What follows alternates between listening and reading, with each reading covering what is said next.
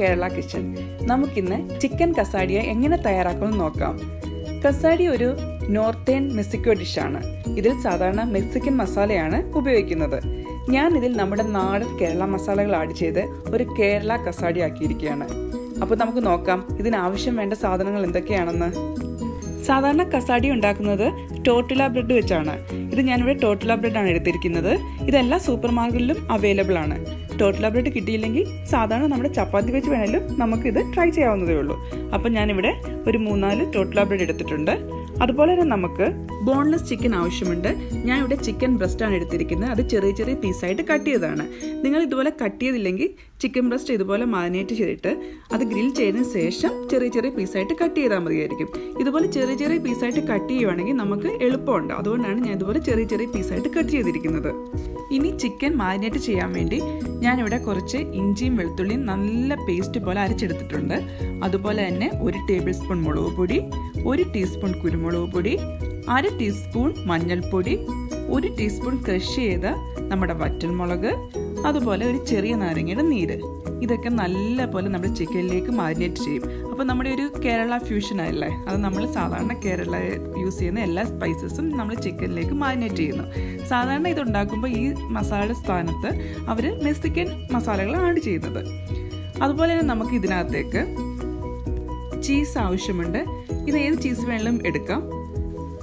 അതുപോലെ ഞാൻ ഇതിനകത്തേക്ക് ചേർക്കാൻ വേണ്ടി ഒരു ചെറിയ ക്യാപ്സിക്കം നീളത്തിലരിഞ്ഞതും ക്യാരറ്റ് നീളത്തിലരിഞ്ഞത് അതുപോലെ തന്നെ സവാളയും എടുത്തിട്ടുണ്ട്. നമുക്കിതിനകത്തേക്ക് വേണമെങ്കിൽ ക്യാബേജ് വേണം ആഡ് ചെയ്യാം മഷ്റൂം വേണം ആഡ് ചെയ്യാം പിന്നെ അവക്കാട അങ്ങനെ എന്ത് വേണം നമുക്ക് ഇഷ്ടമുള്ളത് എന്ത് വേണമെങ്കിലും ആഡ് ചെയ്യാം. ഞാനിവിടെ ക്യാപ്സിക്കവും ക്യാരറ്റും സവാളയുമാണ് എടുത്തിരിക്കുന്നത്. അതുപോലെ തന്നെ നമുക്കിതിനകത്തേക്ക് ഒലിവ് ഓയിലും ആവശ്യമുണ്ട്. ആദ്യം തന്നെ നമ്മുടെ ചിക്കൻ നമുക്കൊന്ന് മാരിനേറ്റ് ചെയ്യണം. അതിനായിട്ട് ആവശ്യമുള്ള ഉപ്പ് ചേർത്ത് പിന്നെ നമ്മൾ എടുത്തു വെച്ചിരിക്കുന്ന മസാലകൾ ഓരോന്നും ആഡ് ചെയ്ത് നമുക്ക് മാരിനേറ്റ് ചെയ്യാം. അതുപോലെ തന്നെ ചിക്കൻ നന്നായിട്ട് മാരിനേറ്റ് ചെയ്ത് ഒരു പത്തല്ല പതിനഞ്ച് മിനിറ്റെങ്കിലും നമുക്ക് മാറ്റി വെക്കാം. അതിനുശേഷം മാത്രമേ നമുക്കത് ഗ്രിൽ ചെയ്യാൻ എടുക്കാവൂ. അപ്പോൾ നമുക്ക് ചിക്കൻ മാരിനേറ്റ് ചെയ്ത് ഒരു പത്ത് മിനിറ്റ് മാറ്റി വെക്കാം. നമുക്ക് അടുപ്പത്തൊരു പാൻ വെച്ച് വളരെ കുറച്ച് ഒലിവ് ഓയിൽ ഒഴിച്ച് നമ്മുടെ ചിക്കൻ ഒന്ന് ഗ്രിൽ ചെയ്തെടുക്കാം. അധികം ഡീപ്പായിട്ടുള്ള ഫ്രൈ ചെയ്യേണ്ട ഒരു ഒരു ഷാളോ ഫ്രൈ ചെയ്തെടുത്താൽ മതിയായിരിക്കും നമ്മുടെ ചിക്കന്. അപ്പോൾ നമുക്ക് ഓരോന്നും ഓരോ പീസായിട്ട് ഇട്ട് കൊടുത്ത് നമ്മുടെ ചിക്കൻ ഒന്ന് നമുക്കൊന്ന് ഗ്രിൽ ചെയ്ത് എടുക്കാം.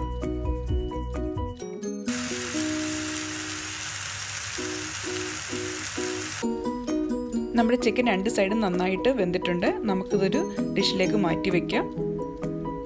ചിക്കൻ വേവിച്ച ആ സെയിം പാനിലേക്ക് തന്നെ വേണം നമ്മുടെ വെജിറ്റബിൾസ് കൂടെ ആഡ് ചെയ്യാൻ വേണ്ടി. അപ്പോൾ ചിക്കനകത്തെ ആ മസാലയുടെ ആ ഫ്ലേവറൊക്കെ നമ്മുടെ വെജിറ്റബിൾസിലേക്കും കിട്ടും.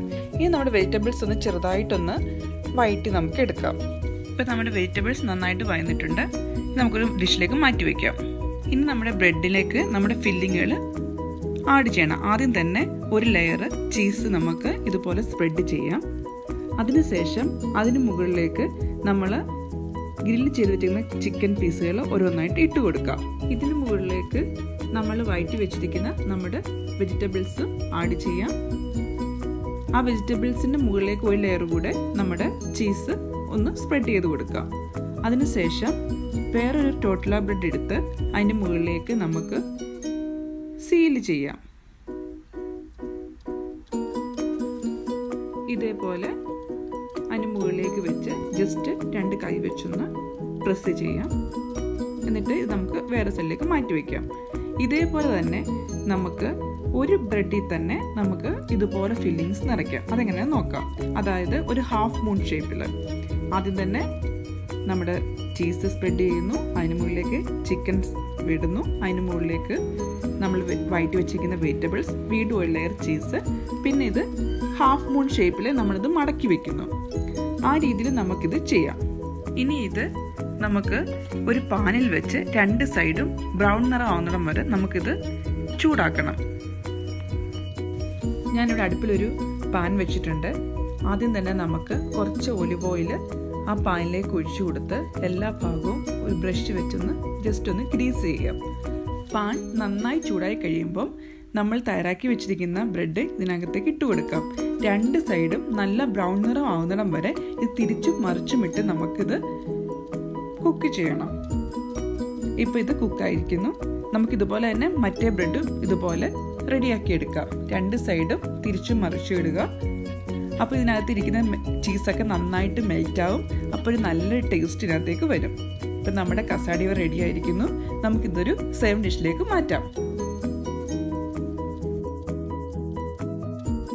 ഇനി നമുക്കിത് ഒരു പിസ്സ കട്ടറോ അല്ലെങ്കിൽ ഷാർപ്പായിട്ടുള്ള ഒരു നൈഫോ ഉപയോഗിച്ച് കോൺ ഷേപ്പിൽ നമുക്കിത് കട്ട് ചെയ്തെടുക്കാം. ഇതൊരു നല്ല വെറൈറ്റി ആയിട്ടുള്ള റെസിപ്പിയാണ് നിങ്ങൾ എല്ലാവരും ട്രൈ ചെയ്യണം. ട്രൈ ചെയ്തിട്ട് നിങ്ങൾ എന്നെ ഫീഡ്ബാക്ക് അറിയിക്കണം. ഇത് ഒന്നുകിൽ ബ്രേക്ക്ഫാസ്റ്റ് ആയിട്ടോ അല്ലെങ്കിൽ ഡിന്നർ ആയിട്ടോ നമുക്ക് ഉപയോഗിക്കാം. അപ്പോൾ നിങ്ങളൊക്കെ ട്രൈ ചെയ്തിട്ട് എന്നെ ഫീഡ്ബാക്ക് തീർച്ചയായിട്ടും അറിയിക്കണം. അപ്പം എന്റെ ചാനൽ സബ്സ്ക്രൈബ് ചെയ്യാത്തവർ തീർച്ചയായിട്ടും എന്റെ ചാനൽ സബ്സ്ക്രൈബ് ചെയ്യുക. അതുപോലെ തന്നെ വീഡിയോ ലൈക്ക് ആൻഡ് ഷെയർ മറക്കരുത് കേട്ടോ. അപ്പോൾ ഇതുപോലത്തെ കിടിലൻ റെസിപ്പിയായിട്ട് നമുക്ക് വീണ്ടും കാണാം. അതുവരേക്കും ബൈ ബൈ